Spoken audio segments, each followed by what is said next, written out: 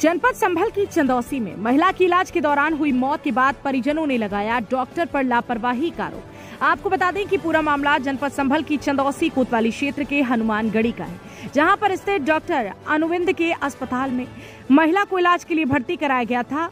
मृतिका की सास का कहना है कि जहाँ पर डॉक्टर ने महिला के गांठ का ऑपरेशन किया था, जिसके बाद उसकी तबियत बिगड़ने लगी। तो उसको इंजेक्शन लगाया गया, उसके बाद होश नहीं आने पर महिला को दूसरे हॉस्पिटल में रेफर किया गया, जिसके बाद दूसरे अस्पताल के डॉक्टरों ने अस्पताल के बाहर से देखकर ही मुरादाबाद के लिए रेफर कर दिया। जहाँ पर डॉक्टरों ने देखने के बाद बताया कि महिला की मौत काफ़ी देर पहले हो चुकी थी, जिसके बाद परिजन महिला का शव लेकर वापस अनुबिंद के अस्पताल पर पहुँचे। अस्पताल के बाहर गेट में ताले लगे हुए थे।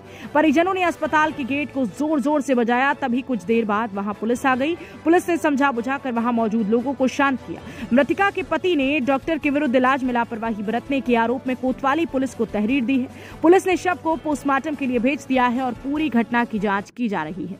संभल से संवाददाता सत्यपाल यादव की रिपोर्ट। मेरे लड़के की मैंने कल ऑपरेशन कराया था, मीनाक्षी अरविंद के तो मैं लेके गई थी इसे मैंने भैया गारंटी भर देना। बोली हाँ बेटा मैं गारंटी भर दूँगा तुम्हारे बेटा को कुछ नहीं।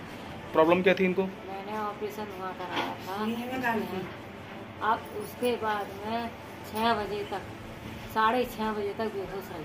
साढ़े छः बजे तक बेहोश रहने के बाद में फिर हाथ पैर तो फेंकी गई अब उन्हें लगा दिया इंजेक्शन जो साढ़े छः बजे हमने इंजेक्शन लगाया है उसी में उसका काम हो गया।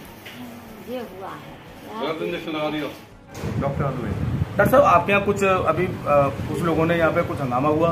आप पे आरोप, गंभीर आरोप लगाए या किसी महिला की मौत हुई? क्या है पूरा मामला? एक महिला का ऑपरेशन हुआ है।